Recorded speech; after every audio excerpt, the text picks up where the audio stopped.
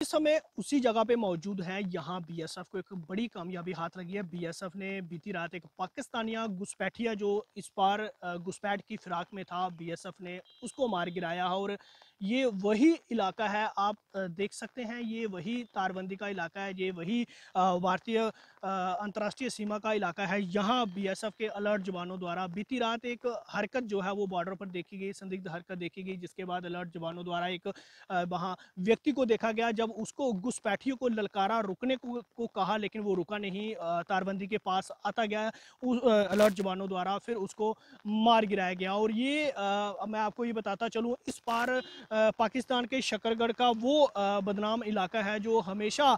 اس فراق میں رہتے ہیں، وہاں بیٹھے گسپیٹھی اسی فراق میں رہتے ہیں کہ وہ گسپیٹ کر سکے اور اس علاقے کی اگر بات کی جائے تو لگاتار کئی دفعہ پاکستان کی طرف سے گسپیٹ کی جو کوشش ہے وہ یہاں کی گئی جس کا بی ایس ایف نے کئی دفعہ منہ توڑ جواب دیتے ہوئے اس گسپیٹ کی کوشش کو ناکامیاب کیا اور بیتی رات کا یہ معاملہ ہے جب بی ایس ایف کے الرٹ جوانوں دوارا گسپیٹ کو مار گرایا۔ حالانکہ ابھی کی بات کریں تو بی ایس ایف کے بڑے ادھکاری جو ہیں وہ یہاں پہنچے ہیں اور ستیتی کا جائزہ لے رہے ہیں اور اس کے بعد تمام رات بھر سے پورے بارڈر علاقے کے ساتھ ساتھ پورے اس ایریے میں جو ہے وہ بی ایس ایف کی طرف سے سرچ آپریشن جو ہے وہ چلایا جا رہا ہے اور پورے چوکیوں کو الرٹ کر دیا گیا۔ حالانکہ کس منشا سے وہ پاکستانی گسپیٹیا جو ہے وہ گسپیٹ کر رہا تھا، کیا اس کے پاس کوئی سامان تو نہیں ہے؟ اس کی جانکاری ابھی آنا باقی ہے، لیکن بی ایس ایف کی طرف سے یہ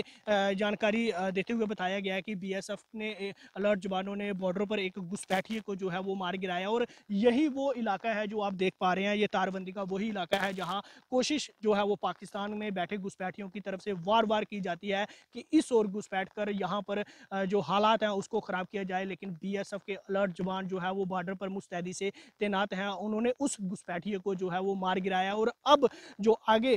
جو ہے اس اس کی ڈیڈ باڈی کو جو ہے وہ ریکور کیا جائے گا۔ اس کے لیے بی ایس ایف کے جو جوان ہیں، وہ اس اور جو ہے وہ نکل چکے ہیں اور ساتھ ہی ساتھ پورے علاقے میں سرچ کرنے کے ساتھ ساتھ اس کی ڈیڈ باڈی کو جو ہے وہ ریکور کیا جائے گا۔ نیوز ایٹین جموں کشمیر کے لیے سامبا سے میں شام سن